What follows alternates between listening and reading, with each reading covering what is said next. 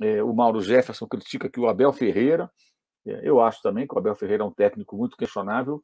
É, não vou medir só pelos títulos que conquistou ou pelas derrotas que teve, mas também pela maneira como o time joga. E o Palmeiras é um time que sempre joga contra seus adversários mais fortes da mesma maneira. Recusa a bola, se fecha, tenta dificultar o jogo do adversário e aproveitar um contra-ataque, uma jogada esporádica. Foi assim que conquistou o título da Libertadores, empatando muitos jogos, ganhando na prorrogação, se classificando com um gol fora de casa.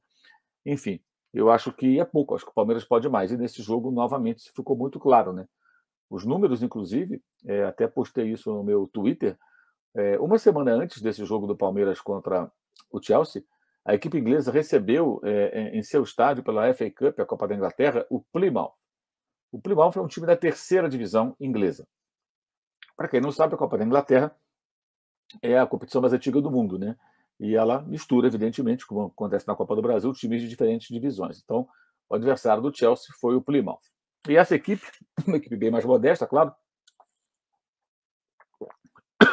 perdão, ela, ao longo do, do, dos 120 minutos, o Chelsea venceu na prorrogação, igualzinho, um a um, tempo normal, e o gol da classificação veio na prorrogação.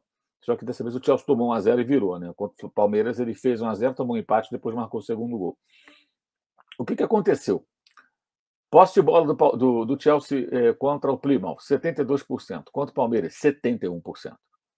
Finalizações do adversário do Chelsea, Plymouth, 11. Palmeiras, 11. Finalizações certas do Plymouth, 5. Do Palmeiras, 3. Grandes chances criadas, chances claras, 3 do Plymouth, 1 do Palmeiras.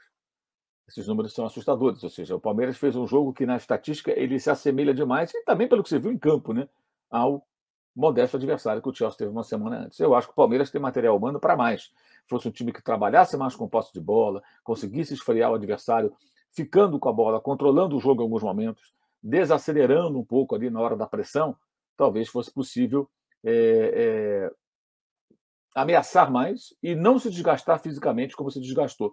Vocês vão se lembrar que até na final da Libertadores teve um jogador do Palmeiras saindo extenuado na maca, eh, arrebentados. Por quê? Porque você passa o jogo inteiro marcando, correndo para fechar os, os caminhos do adversário. É um jogo de muito desgaste físico sem a bola. O adversário faz a bola correr. E o Palmeiras, ele jogando assim, ele desgasta demais seus jogadores. O Rony é muito sacrificado, falta força para agredir, de tanto que volta para marcar o tempo todo. Por quê? Porque o time nunca tem a bola. Tá? Não significa não ter que marcar. Todos têm que participar do jogo sem a bola. Mas o tempo todo você está sem a bola, praticamente. Para que vocês terem uma ideia, no primeiro tempo da prorrogação, lá em Abu Dhabi, o Palmeiras teve 15% do tempo de posse de bola. 15%. Enfim, é uma estratégia, às vezes dá certo e outras não, mas eu chamo isso de retranca. Eu acho que é retranca, seja do Plymouth, da terceira divisão, seja do Palmeiras, campeão da Libertadores.